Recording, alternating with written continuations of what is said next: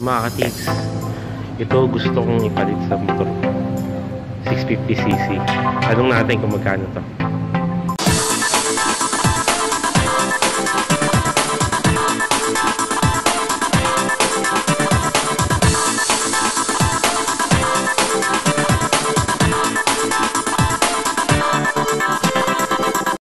So, what's up mga katips?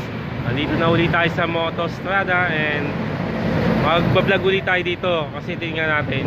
Yun yung second floor. Uh, nando doon nando doon yung mga big bikes nila. So titingnan natin yon and uh, check natin. Baka makapili rin tayo. Pwedeng sa atin. So hinihintay ko lang yung kaibigan natin si Motolongis Vlog. Uh, ang tagal niya. Kanina ko pa hinihintay. So wait na lang natin siya mga katips. Yo mga katips uh, andito na tayo sa loob at uh, kasama na natin si Motolongis Vlog. Ayan mga kaibigan natin. So mag check lang kami ng mga motor dito diba?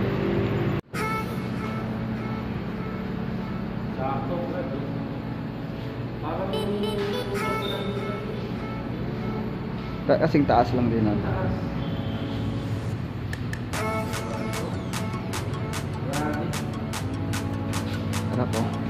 NK400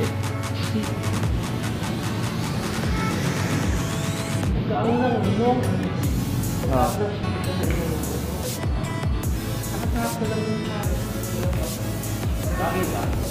pwede pwede.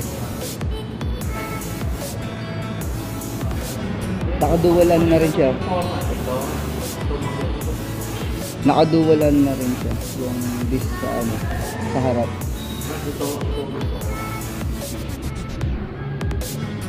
Ano ito? Mas mababa, parang mas mababa yan. Hmm.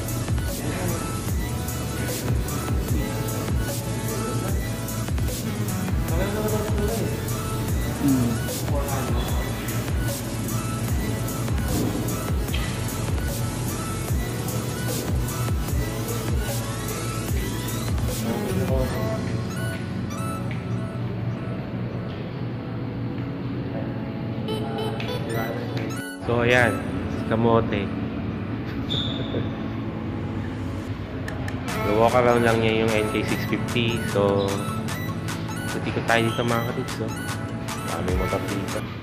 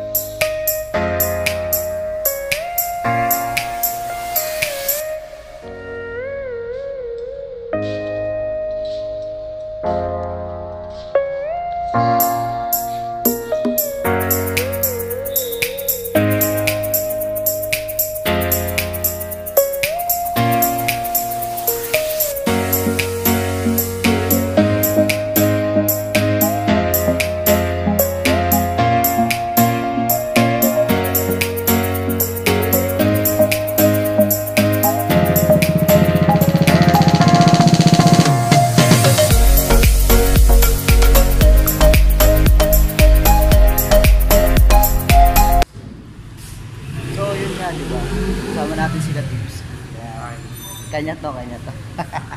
ay sa vlog ko ah. Ako muna. Muna. lupit ng cameraman ko eh, no? Oh. Matulong ang kaibigan natin to. Ako muna yung cameraman niya.